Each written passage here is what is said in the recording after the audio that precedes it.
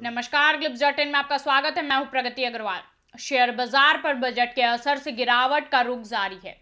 हफ़्ते के पहले कारोबारी दिन सोमवार को बाज़ार पर एक बार फिर जोरदार गिरावट हुई है जहाँ नेशनल स्टॉक एक्सचेंज पर निफ्टी 10,600 के नीचे फिसल गया। वहीं सेंसेक्स ने भी 500 अंकों की गिरावट के साथ कारोबार की शुरुआत की। सेंसेक्स और निफ्टी एक दशमलव पच्चीस फ़ीसदी से ज़्यादा की कमज़ोरी के साथ कारोबार कर रहे हैं। दोनों मिड कैप और स्मॉल कैप शेयरों की जोरदार बिकावली देखने को मिल रही है।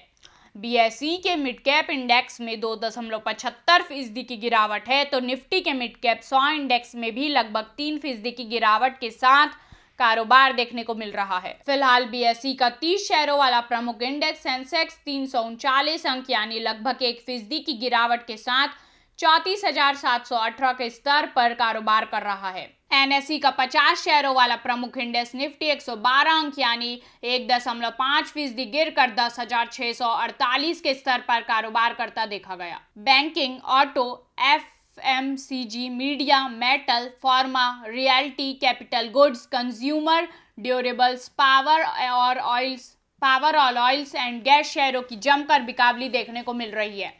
बैंक निफ्टी एक दशमलव पाँच फ़ीसदी की गिरावट के साथ छब्बीस हज़ार बयालीस के स्तर पर देखा गया। हालाँकि टेक्नोलॉजी शेयरों में निवेशकों का रुझान कायम रहा और सुबह के कारोबार में अच्छी खरीदी जारी रही। गौरतलब है कि केंद्रीय बजट में लॉन्ग टर्म कैपिटल गेन्स पर टैक्स लगने से निवेशकों का सेंटीमेंट कमज़ोर हुआ है। इसकी वजह से बाज़ार में बिकावली बढ़ गई है। सभी सेक्टोरल इंडेक्स में भी गिरावट देखने को मिली थी।